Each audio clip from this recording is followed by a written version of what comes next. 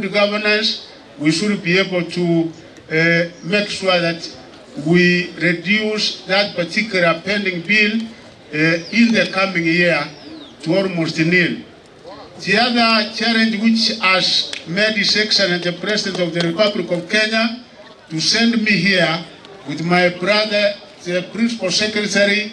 in the midst of housing, is because we know that you are staying in areas which are not very conducive for quality running. Because for you to come and run properly here, you must stay in areas which are good, areas which are decent, and that is why we're here, so that the Ruto administration can be able to start a project here of accommodating students, hostels, which will accommodate up to 10,000 students. The administration and ask them and all other universities that yes, we require right sizing, we require downsizing. We have said that you have to focus on the core functions of the university, such that all universities, the only recruitment they will be able to do when it is necessary is for the teaching staff. The non-teaching staff, when uh, natural attrition or anything happens, we have said no more recruitment until we sort out the financial challenges that we have in our public universities. And finally, uh, requesting the security personnel in Kisii County, first to thank my brother Kindiki for ensuring that there is peace and tranquility in this part of Kenya because the can only thrive when we have security in our places. So let us not take it for granted. We also make an appeal to the local leaders to ensure that uh, uh, they have that one in their minds. Nobody should be able to compromise that because once that is compromised,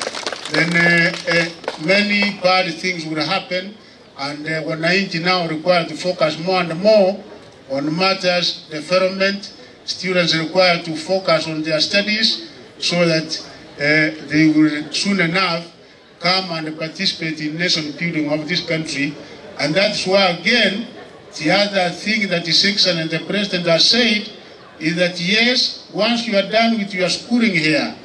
he has said we have to come up with intentional, practical, and deliberate initiatives to ensure that in one way or the other you secure employment, you secure a job, and you have seen the kind of measures he has taken in including and not limited to uh, uh, people acquiring competencies, digital skills, and in that space, we have over one million jobs, and already the young people are accessing that. And I think when we have an opportunity, you will be taken through that, so that even before you finish your school, you can also be able to access some of the, those jobs. To the kind of funding and financial challenges that we have in our public universities, as well as ensuring that we make higher education, university education affordable, such that all those of us coming from the poor backgrounds can be able to get opportunities to pursue education up to the highest level. And that is why we have come up with a criteria, a formula uh, of identifying those of us who come from backgrounds that they cannot be able to pay any amount of money when they come to university and the government will be able to provide for that in the form of scholarship.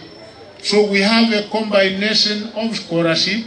and the loans which are given by uh, IRON's Education Board. Like again, I promised the first years last week when I said yes, we have been doing some analysis. It has taken a little bit of time in order to determine who comes from where and who should be able to get what kind of amount. And that exercise, I'm happy to announce, it was completed and uh, we have now released 5.2 billion to the first years in the form of tafadhali. And that is uh, going forward, going forward, we have also issued money to all the public universities